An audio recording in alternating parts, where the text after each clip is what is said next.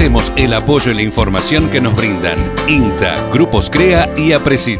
Auspicia. AFA SCL, desde 1932, defendiendo la producción de sus asociados. Mercado a término de Buenos Aires, el primer mercado de futuros agrícolas de Latinoamérica. Balanceados Santa Silvina. Hola amigos, muy bienvenidos a un nuevo tiempo de campo. Hoy tenemos un programa precioso para compartir con ustedes. Vamos a hablar de cómo cuidar la tierra, los cultivos, las buenas prácticas agrícolas, APRESID cuyo congreso ya se aproxima y por supuesto más de agroactiva, pero todo luego de los avances. Hoy en tiempo de campo se presentó nuevamente en Agroactiva el 27 Congreso de APRESID 3010.000 Conciencia Suelo. La importancia de fertilizar adecuadamente el maíz y atender las recomendaciones para evitar o menguar el mal de Río Cuarto. Aunque la ganadería pasa por un buen momento, hay mucho que ajustar en miras a los mercados.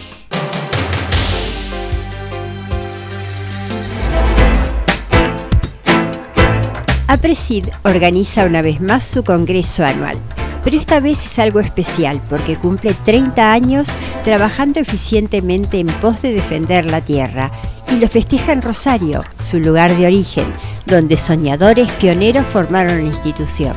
El temario, muy amplio como siempre, rondará en unir las dos cifras, 30 años de APRESID y 10.000 años de evolución de la agricultura. La palabra clave será conciencia suelo, Escuchamos al vicepresidente y al gerente de Prospectiva.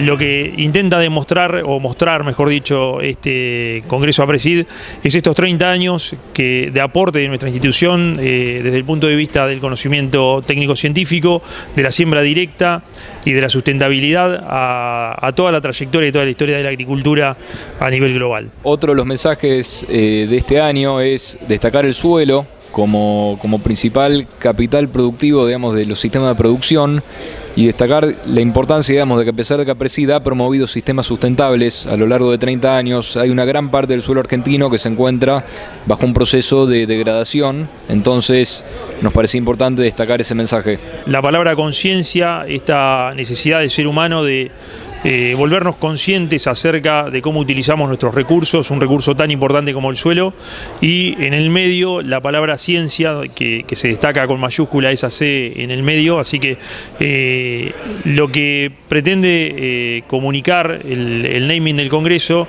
es precisamente esta necesidad de hacernos conscientes de la importancia del suelo y la necesidad de cuidarlo y de trabajar sustentablemente con él. En cuanto al número de salas, este año vamos a a tener una sala plenaria más que el año pasado, así que van a ser tres salas principales y 11 salas de taller en total, donde los asistentes del Congreso pueden ir, eh, pueden inscribirse, preacreditarse, digamos, a los talleres, armar su propio congreso. También lo que sobre el Coadis, este espacio que hacemos todos los viernes de un poco de desarrollo federal y política pública, va a tener lugar en el auditorio principal durante el día viernes. Invitarlos a todos a que se acerquen al Congreso eh, a Presid 30 sobre 10.000 Conciencia Suelo, así que los esperamos a todos y bueno, muchas gracias.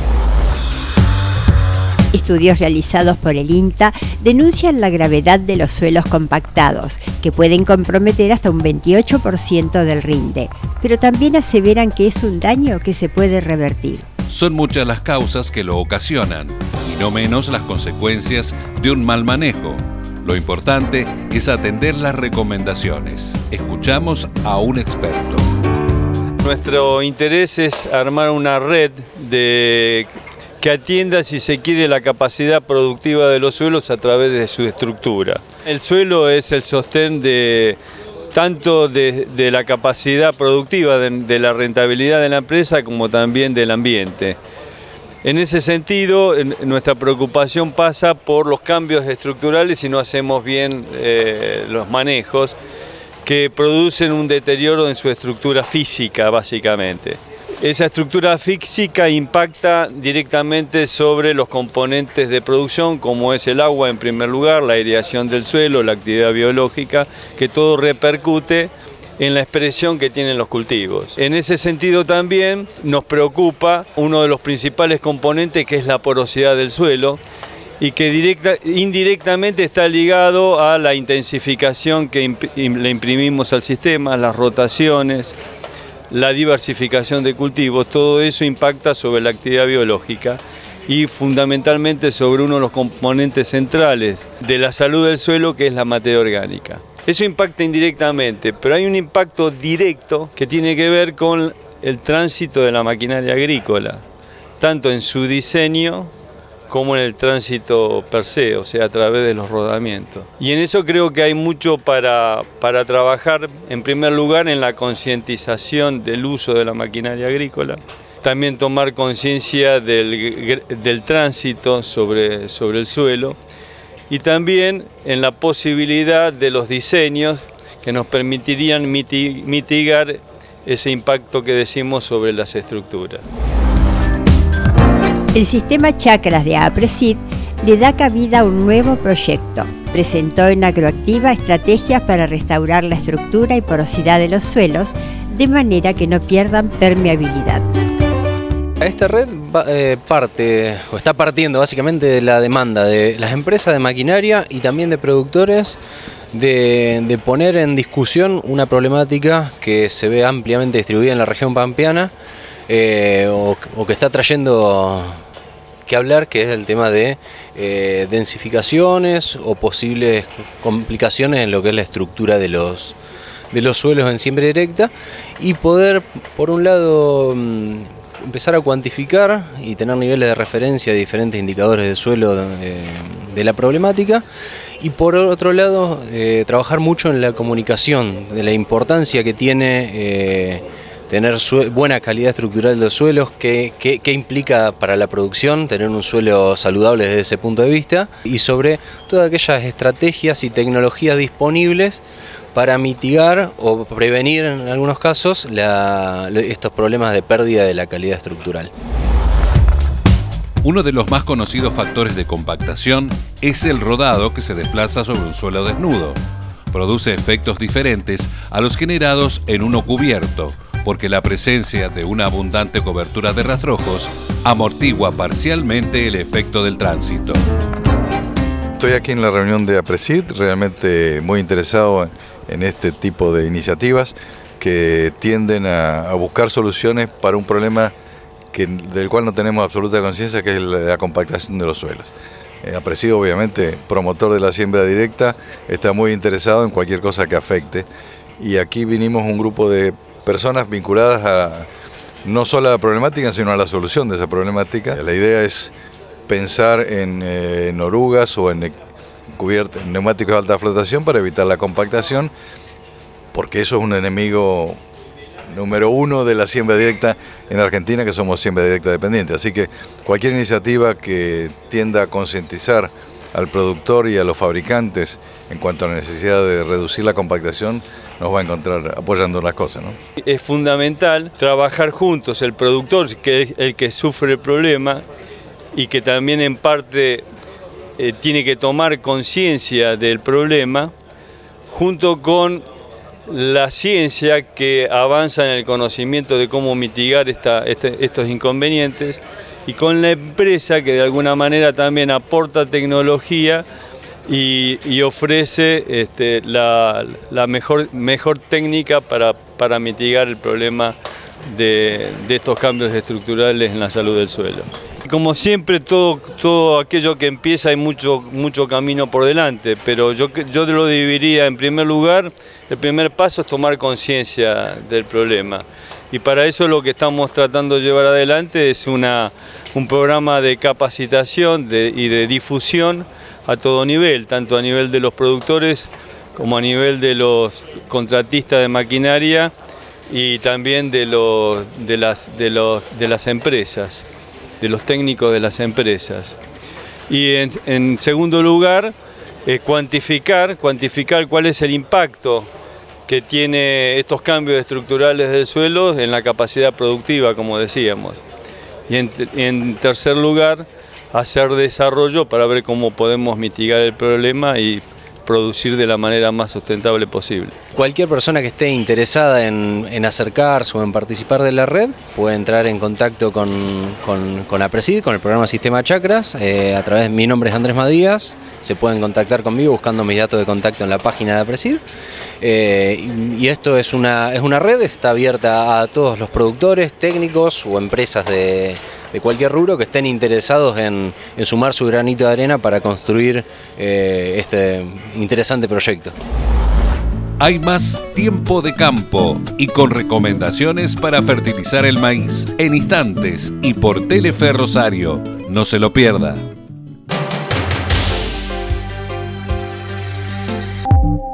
Goldoni, tractores de baja potencia para las economías regionales y máquinas para viñedos y hortalizas.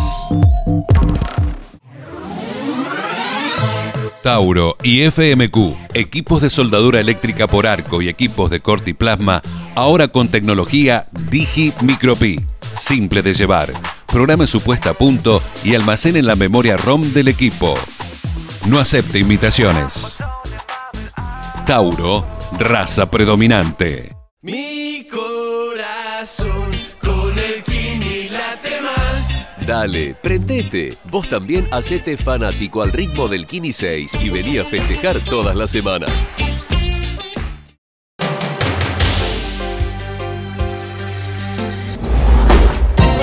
El maíz, que tiene un protagonismo valioso en la rueda de cultivos, fue el tema elegido por el ingeniero agrónomo Gabriel Espósito en el simposio Fertilidad y defendió la importancia de fertilizarlo adecuadamente.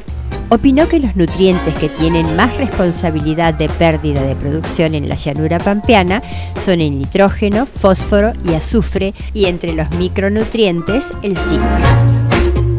Estuvimos eh, presentando una temática que era la comparación de hacer maíz temprano, maíz tardío o maíz de segunda y si la fertilización de estos tres tipos de maíces cambia. Había que discutir un poquitito sobre qué es maíz temprano, por qué maíz temprano, por qué maíz tardío y por qué maíz de segunda.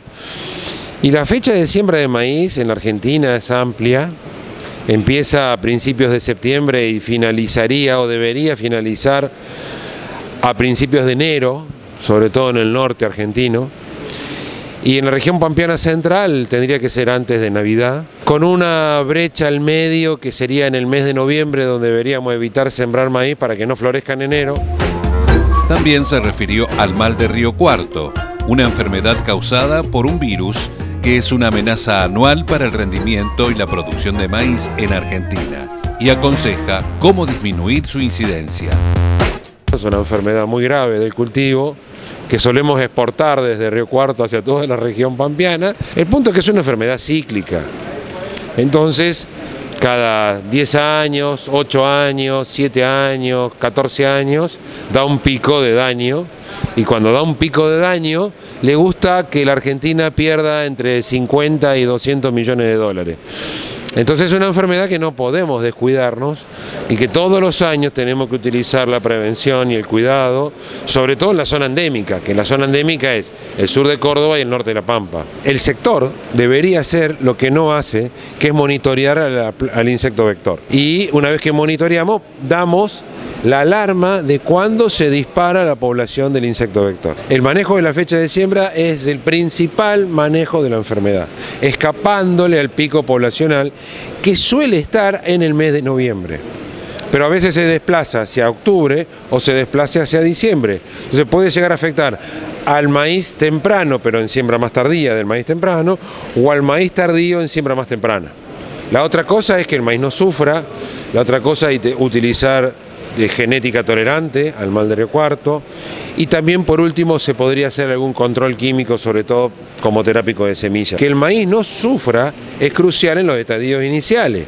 Fertilizarlo bien, que no le falten nutrientes, no poner fertilizantes en la línea que sean fitotóxicos, no utilizar herbicidas que dañen el maíz, no utilizar herbicidas de barbecho que afectan al maíz, no aplicar herbicidas sobre el maíz que hagan que tenga un costo metabólico para procesarlo. El maíz tiene que crecer óptimamente. Por su parte, el ingeniero agrónomo Andrés Rotondaro ofreció la paleta de productos y fertilizantes que ofrece la Asociación de Cooperativas Argentinas para lograr un buen cultivo. Para destacar, les puedo hablar de dos productos. Uno es el suprofato simple. Acá hoy es productor eh, digamos, de ese fertilizante acá en Argentina. Se utiliza mucho como arrancador, eh, tanto digamos, en mezclas como también puro. Y bueno, un cultivo donde se utiliza mucho este, este fertilizante es la soja, ¿no? pero también se utiliza en trigo y maíz. Y después otra línea que acá está comercializando eh, con muy buen éxito es la línea Microessential. Ahí tenemos dos productos, uno es el Microessential S9, que es un fertilizante complejo, un fertilizante premium, que se utiliza para trigo y para, para soja y girasol. Eh, es un fertilizante que tiene tres nutrientes, nitrógeno, fósforo, azufre, en el mismo gránulo. Y el otro fertilizante de la línea Microessential es Microessential Zinc. Es un fertilizante que tiene cuatro elementos, nitrógeno, fósforo, azufre y zinc. Lo utilizamos fundamentalmente en trigo y el maíz. El maíz es un cultivo que es muy sensible a la deficiencia de, de zinc, así que es una empresa que hace ya varios años digamos, que viene trabajando y ofreciendo digamos, a los productores tanto servicios digamos, diagnósticos como también productos fertilizantes para que puedan digamos, este, nutrir bien sus cultivos. Lo que estamos viendo es que es una práctica que el productor ya la conoce bien, eh, sabe que tiene que estar dentro de, digamos, de, de su esquema digamos, de decisiones, sabe que el fertilizante juega un rol fundamental, tanto para el suelo, pero sobre todo para producir rendimiento y producir este, rentabilidad en sus cultivos.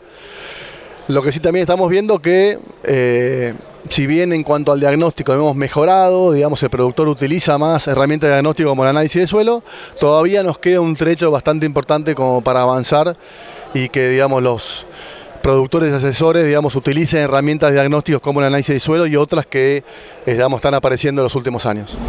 Agenda. Jornada post cosecha de precisión, 25 de julio, Palacio Minetti, Córdoba 1452, Rosario. Organiza Granos Sac. 27 Congreso APRESID 30-10.000 Conciencia Suelo, del 7 al 9 de agosto, Salón Metropolitano Rosario. Organiza APRESID. 38 Jornada Citrícola Nacional. Jueves 8 de agosto, Estación Experimental Agropecuaria Concordia del INTA, Entre Ríos. Jornada Mercosoja 2019, 4 y 5 de septiembre, Bolsa de Comercio de Rosario. Organiza Axoja. En el próximo bloque, recomendaciones para el plantel ganadero en tiempo de campo y por Telefe Rosario. Extra, extra. Al fin una tecnología que genera más con menos en soja. Más de 300 kilogramos extra. Con solo 200 centímetros cúbicos de cubo y ultra por hectárea. Spraytech, tecnología que avanza.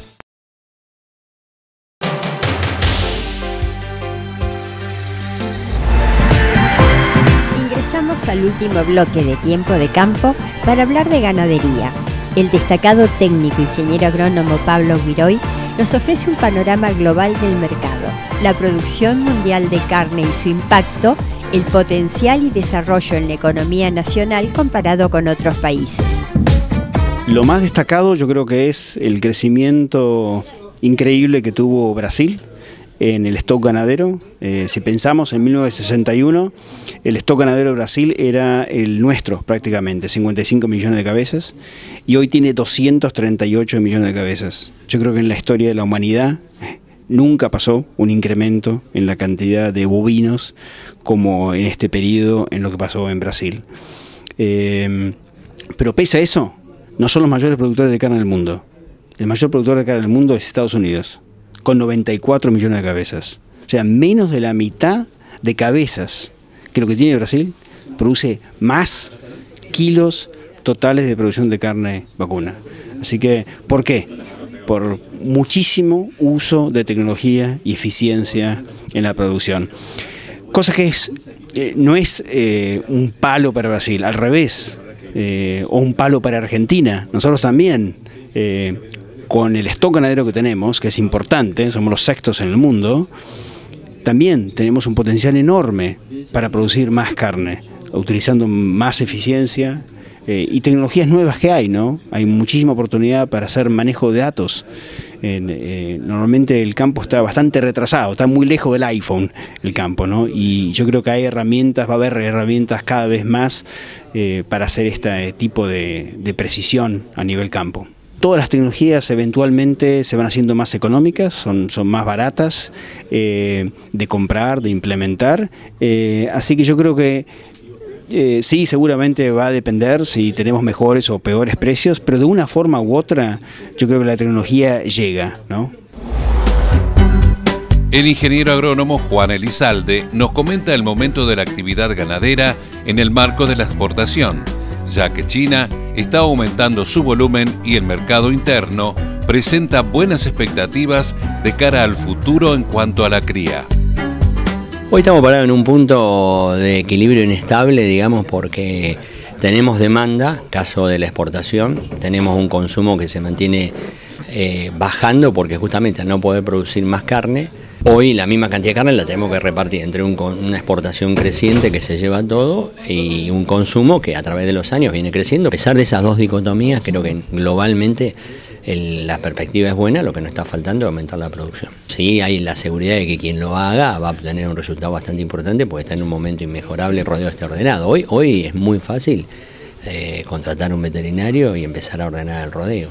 Lo más difícil después es generar comida para recriar, este, no todos los campos pueden hacerlo, no todos los campos tienen la posibilidad de recriar y fundamentalmente producir grano. Entonces, esas son etapas más difíciles. Pero esa etapa del engorde yo creo que las tenemos garantizadas porque hay feedlot. Hoy lo que se está exportando por ahora es categorías que el consumo interno no venía consumiendo. Probablemente para el futuro sea una preocupación si uno ve que empiezan a aparecer cortes de alto valor como lo que se está llevando China de novillos que hacen de que sí ya compitan con el mercado interno. Hay una perspectiva muy grande que ahora al exportar carne con hueso se lleve el asado y entonces ahí sí nos quedamos con menos carne en el mercado interno y entonces eso indudablemente suba el precio y eso hace de que la gente por precio más caro al no encontrar asado como otra.